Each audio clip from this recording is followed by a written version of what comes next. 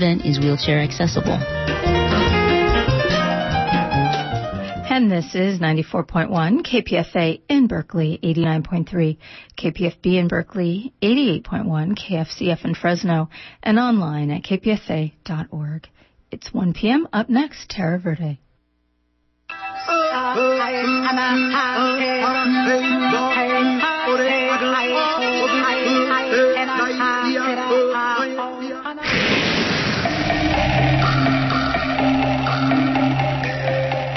The Amazon basin, from the magnificent redwoods of California to the icy majesty of the Arctic, life on Earth faces an unprecedented threat from careless development.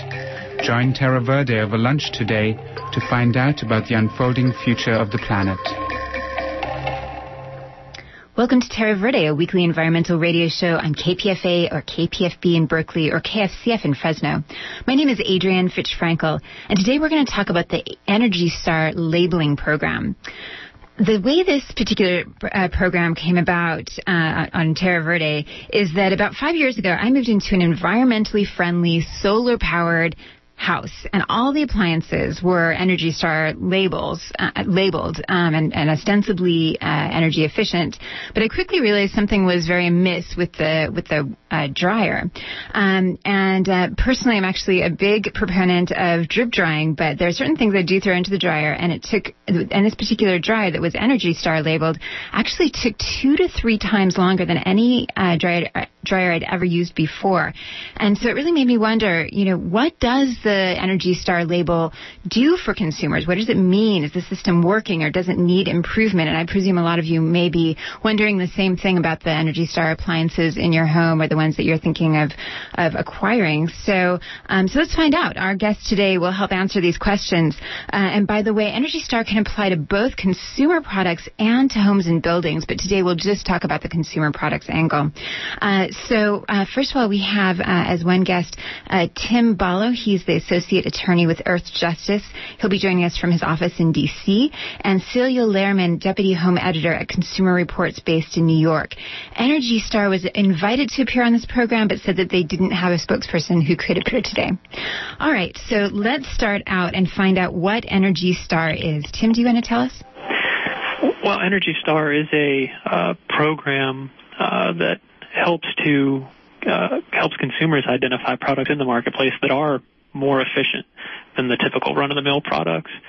Um, it, it's largely implemented uh, voluntarily. Manufacturers uh, volunteer to certify their products for the Energy Star label. Um, if they meet the standard, they get to put the label on the products, and, and folks that go to stores uh, who are looking for an efficient product will will see the label and know that their product is uh, is one of the best out there. All right. And um, Celia, uh, do the spe- are the specifications the same for every um, item within a category, or um, or are they different for each each They're item? different. They're different, and that's something people probably don't know looking at the uh, those familiar yellow labels. For refrigerators, there are different requirements depending on the kind of refrigerator. So side by sides have different requirements than ones with the freezer on top and freezer on the bottom. So you can actually uh, same thing with washing machines. Top loaders and front loaders have different standards. So just looking for the Energy Star is a good start, but it's really not enough. And you know, before this week when I started really researching this in depth, you know, I always thought of it as no different than say the organic label, where you know you go out and it's kind of the same thing no matter what. It's it's a fixed standard. Um, but but actually, what I've learned this week is that it changes over time, doesn't it? It um, the Energy Star label actually keeps getting uh, ostensibly higher and higher in terms of the requirements. That's true. That's true. They keep uh, raising the bar on it as the products get more efficient, and that's probably because the program was set to identify the top 25% in a particular category, so the most energy efficient. And as more products have gotten energy, you know, more energy efficient, in order for them to really still be identifying the best performers, the top energy performers, they had to keep raising the bar. All right. Tim, there are federal standards for energy efficiency and there's Energy Star, but these are two different things. Can you explain uh, just briefly how those two things relate to each other to help us kind of set a foundation for the program?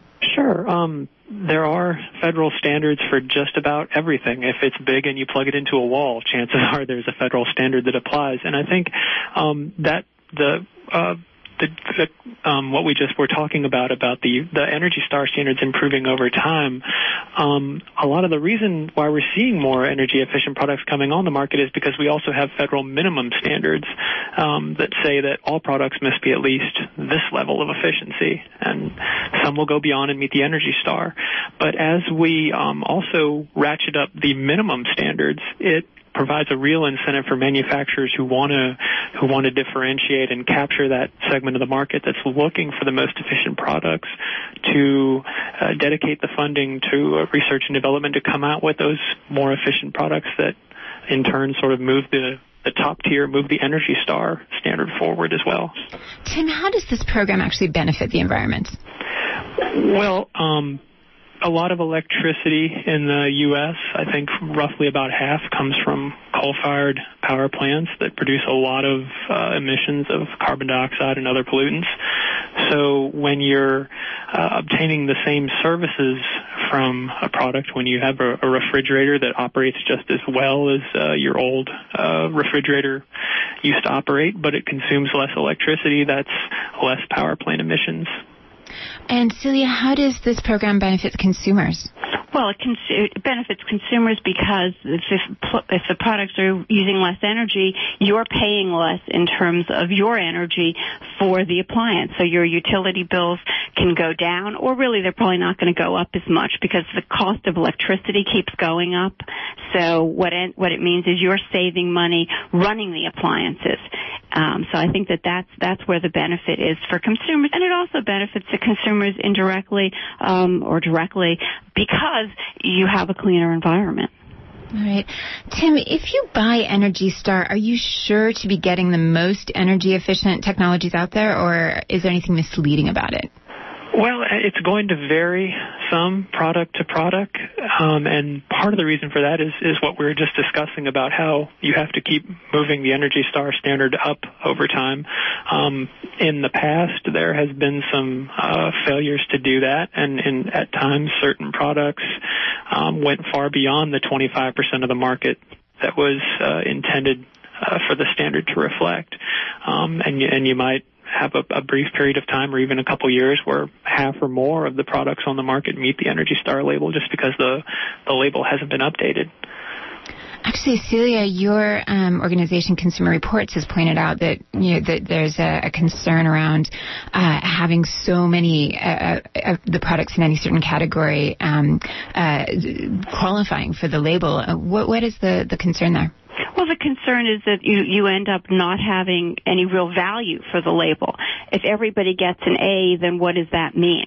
And there's also not as much value for the consumers because you, you really, as, as we were talking, it's supposed to be, you know, the top products. But if everything is good, then if the person who really wants to get a more energy efficient product is really not served by the Energy Star. And, and I think that that's the problem. The problem is you, you want to be sure that if, if the idea is to get them the most efficient product, you want to be sure that the Energy Star qualifications are actually stringent so that not everybody is getting an Energy Star. It sort of defeats the whole purpose of it. Celia, how frequently are the standards actually updated? Not often enough, in our opinion. Um, because uh, it, it, they have a recurring schedule, and a lot of it is legislation is mandated by legislation. But it can be, you know, seven years between the uh, standards being updated, um, or it can be more. And it certainly is uh, also a problem. You know, we touched upon those minimum energy standards and the minimum energy tests that the manufacturers um, are mandated to go by. And if those test procedures don't get updated to reflect what's available in the technology, then you end up skewing the results of the Energy Star program. For example, um, many of the standards for refrigerators were written when in the 70s actually, when most refrigerators were manually controlled. They didn't really have any electronic controls. Um, they didn't have the kinds of lighting that they have now. They don't have the filtration systems that they have now. Uh, they don't have many of these have um, add-ons like uh, I was mentioning to you in a conversation. Samsung just introduced refrigerators with LCD screens on them. So there are a lot of things that are being introduced, technologies that either um, can make the product more efficient or less efficient, but they're not in the testing standards, so none of those energy uses get reflected in the numbers you see on the on the uh, yellow stickers. All right, and we'll probably be coming back to testing later on in the program if we have time.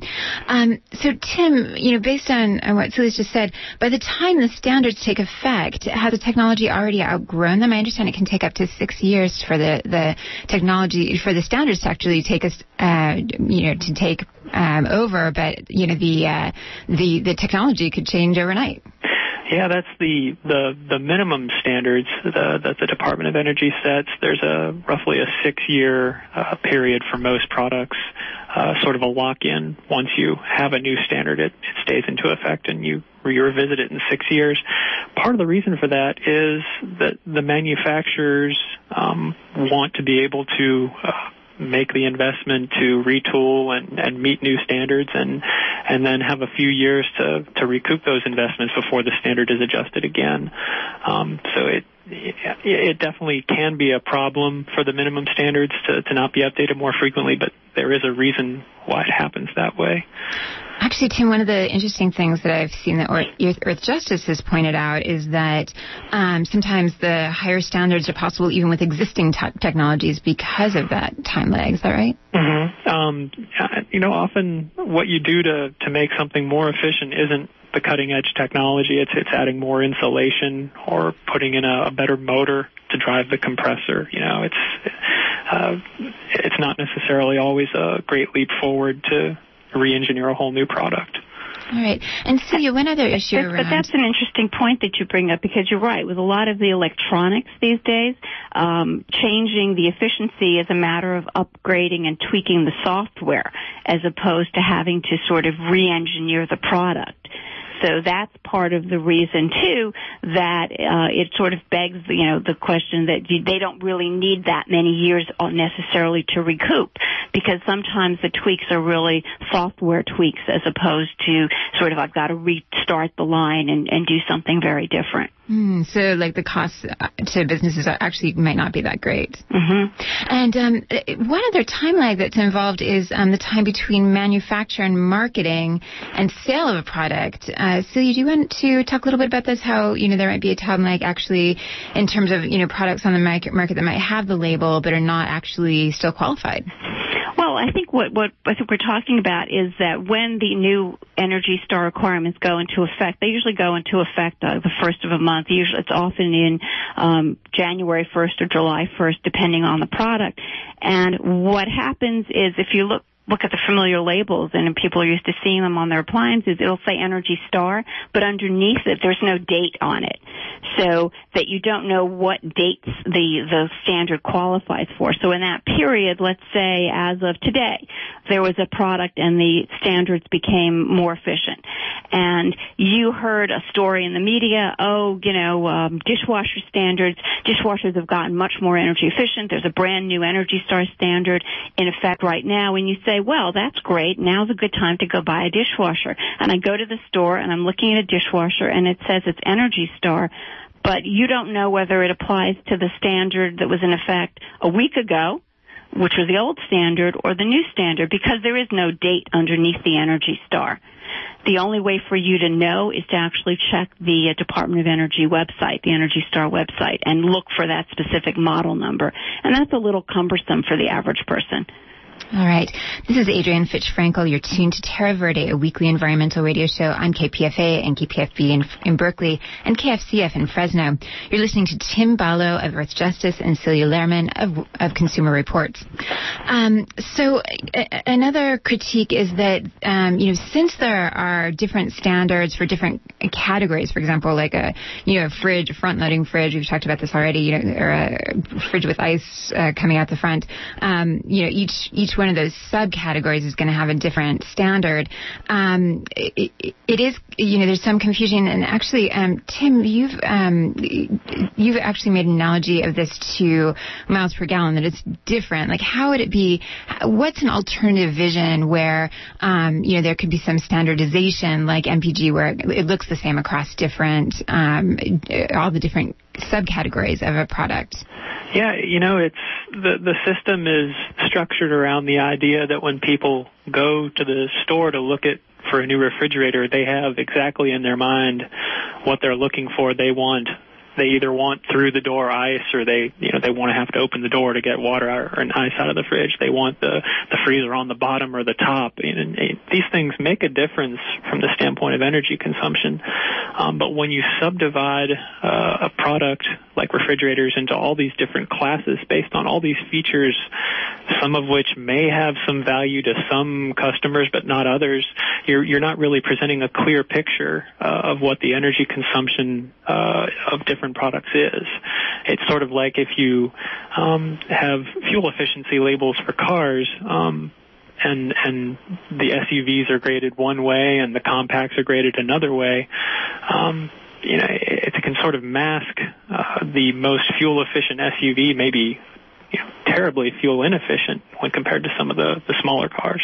So, are there any alternative proposals out there that say, you know, maybe the Energy Star label would say, okay, you know, this this thing consumes X amount of, of energy per day, rather than, you know, just saying, you know, just kind of having the, the Energy the, Star. Well, the current labels, what they also have on them, in addition to the Energy Star, is it talks about how many kilowatt per hours they use per year, and it also gives you a dollar figure based on um, average energy costs and that number applies across categories. But if you're asking what does the system look like when they're all compared equally, it looks like Consumer Reports ratings for appliances because that's how we do um, our efficiency ratings for appliances. We use the same measure across categories so that when you're com- trying to compare a top freezer to a bottom freezer to a side by side, you to a built-in refrigerator, you can see how efficient they are across categories. We do it that way. We do the same thing with um, washing machines. We compare efficiency across categories. So, um, I mean, that's to toot our own horn, but that is how we do it, just so that people can easily glance through our ratings and find the most efficient products and the products that perform the best as well. Because that's another thing the Energy Star ratings don't take, for the most part, for appliances, don't take performance into account. Um, uh, going back to Tim, um, I'm wondering um, if we've seen some change over time in terms of a standard setting, um, you know, especially between this administration and the last administration. Were there any changes? Absolutely. Um, in the last administration, you know, there was an ideological opposition to interference in the market, so the minimum standards uh, generally didn't get set for many years. They fell, uh, they were behind on some two dozen products uh, setting minimum standards, and they got sued by Natural Resources Defense Council and a, and a group of states, and put on a schedule for uh, for completing all the overdue rulemakings. And uh, to the partial credit of the Bush administration, they did eventually start complying with the law. Um, however, they did so by adopting the weakest standards they could. Um, and uh, one of the huge, I think, more than maybe any other agency, the Department of Energy has really changed its approach to energy efficiency under the Obama administration. Um, they're now adopting much stronger minimum efficiency standards, which obviously in turns drives uh, drives the Energy Star standard forward. They've also done a very good job, I think, with with enforcement and com- they're doing a better job with enforcement and compliance. I mean, they set up an office for enforcement and compliance, and I think that they're they're really um, now they've set up a verification program. So I think they're also not only setting the standards, but but trying very hard to make sure that um, the standards are being upheld. That's true. There really was zero attention paid to enforcement until the Obama administration came in. Um, the department didn't test products. They, they didn't uh, bother to enforce, and no one was policing the uh, the labeling of products online or in stores. And all, all those things are starting to happen. I mean, I think because you, you're right, because it's another big thing too in terms of it's just as of this year that um, the numbers you see on the Energy Star labels are actually independently verified. Prior to that, the manufacturers were doing their own testing, putting the information on the labels, and the government was saying thank you very much. And the program got um, badly embarrassed when uh, someone did a study of cooking up sort of make believe products.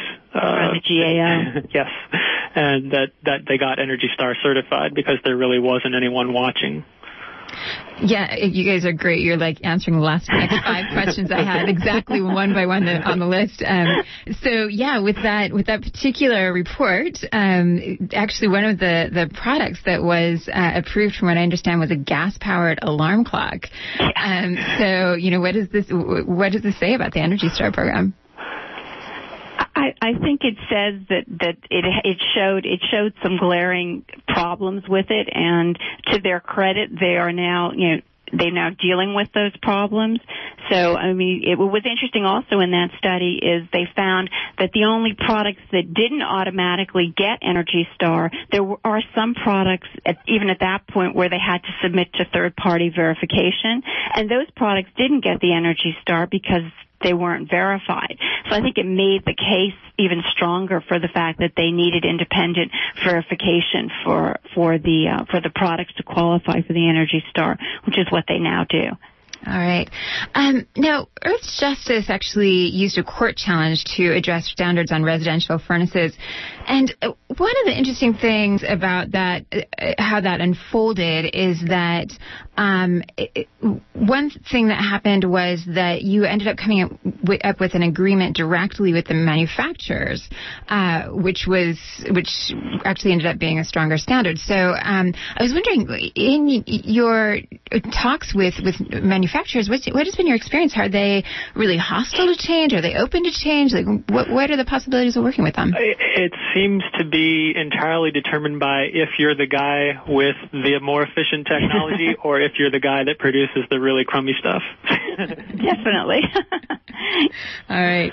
Um, so um, now. Um, the one thing, Celia, I'd love to hear more about is um, how energy efficient products perform. You know, they may be energy efficient, but do they actually work? And this kind of gets back to my dryer um, or my last. Well, they actually really do. Okay. I mean, we have we in our tests um, we find lots of products that not only uh, perform well and are energy efficient, but that also don't cost that much more. Um, we were in our we've been testing you know, washing machines forever, basically for the last 75 years, and um, we've seen. Uh, top front loading washing machines and top loading and for some of our last batch there was a two thousand dollar washer and it was great you know, was a great performer, very energy efficient, and you go, well, doesn't that sort of make the case that it's making it more expensive? But underneath it, its brand mate cost $650. It performed as well and it was $650. It cleaned as well. It was energy efficient. It's water efficient. So it's really a matter of, of doing the shopping because a lot of the, um, you can you can get both or you can get neither quite frankly. So you have to be a, a careful shopper.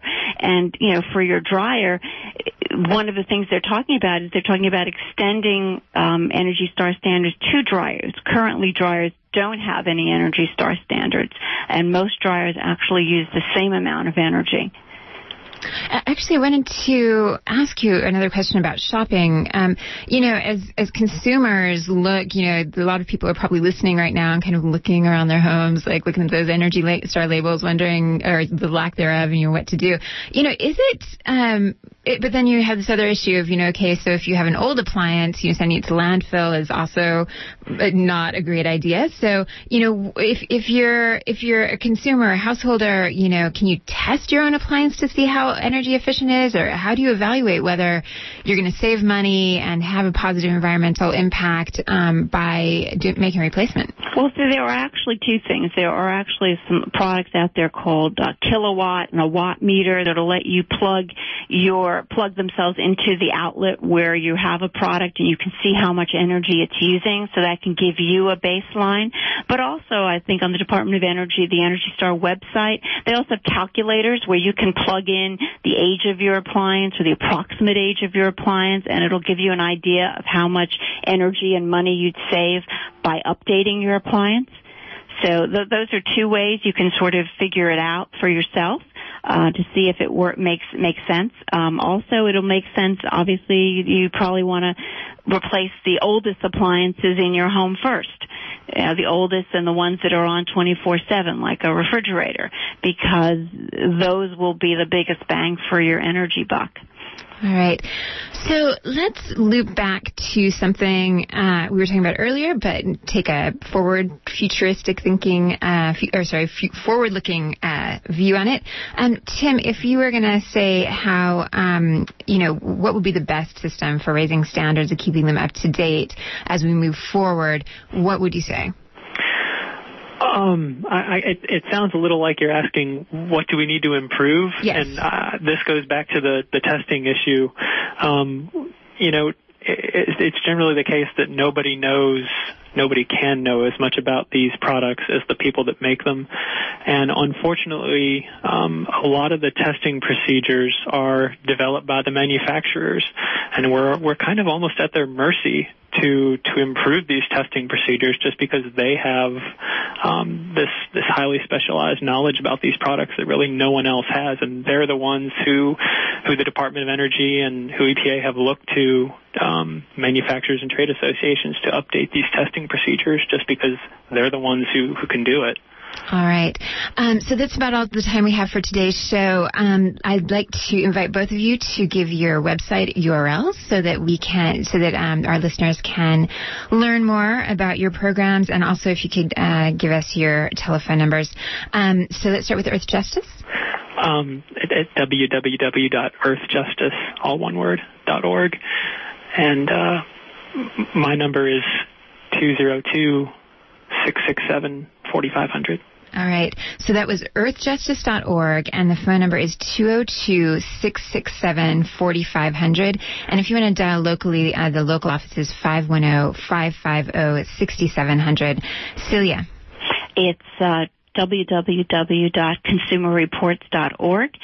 And um, my phone number is 914 378 2000. All right. That was 914-378-2000. And there's also an 800 number, 866-208-9427.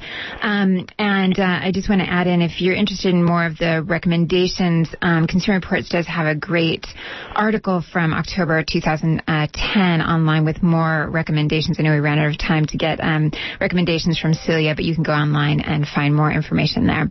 So uh, thank you so much. Everybody have a great weekend.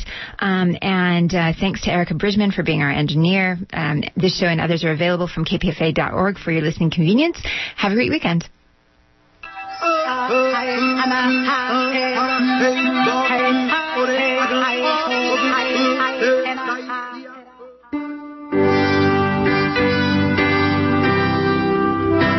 On Friday, July 29th at 8 o'clock p.m., Leon Rosselson and Robb Johnson will be performing their musical collaboration The Liberty Tree, a celebration of the life and writings of Thomas Paine. These two acclaimed folk singers weave together Paine's words and life history and add a new dimension to his radical ideas with their own contemporary songs. This benefit concert will be held at the Unitarian Universalist Church at 505 East Charleston Road in Palo Alto, a wheelchair accessible venue. A $20 suggested donation benefits Peninsula Peace and Justice Center. The event is co-sponsored by PPJC, Reach and Teach, and PM Press.